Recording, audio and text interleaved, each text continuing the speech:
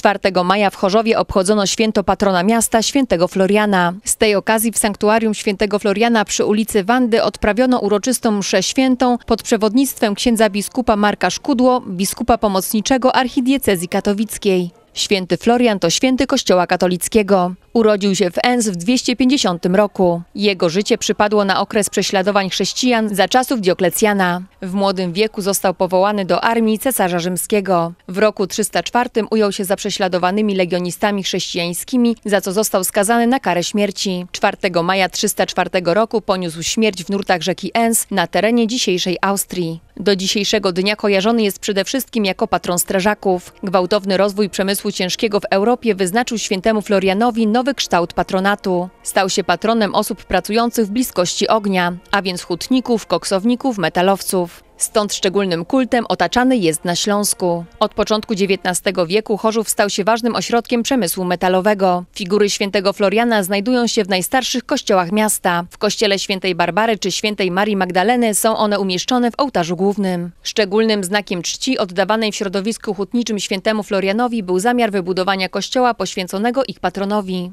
Kościół ten powstał w Chorzowie w 1959 roku. W roku 1986 powstał projekt sprowadzenia relikwii świętego Floriana do Chorzowa. 19 października 1993 roku Kongregacja do Spraw Kultu Bożego przy Stolicy Apostolskiej nadała miastu Chorzów patrona świętego Floriana, przesyłając dokument na ręce metropolity katowickiego. W następnym roku 4 maja miała miejsce uroczystość sprowadzenia relikwii patrona miasta Chorzowa z Wawelu z udziałem metropolity krakowskiego księdza kardynała Franciszka Macharskiego oraz metropolity katowickiego księdza arcybiskupa Damiana Zimonia. Relikwie zostały złożone w specjalnym relikwiarzu w kościele świętego Floriana, który w 2001 roku został podniesiony do godności sanktuarium świętego Floriana Męczennika.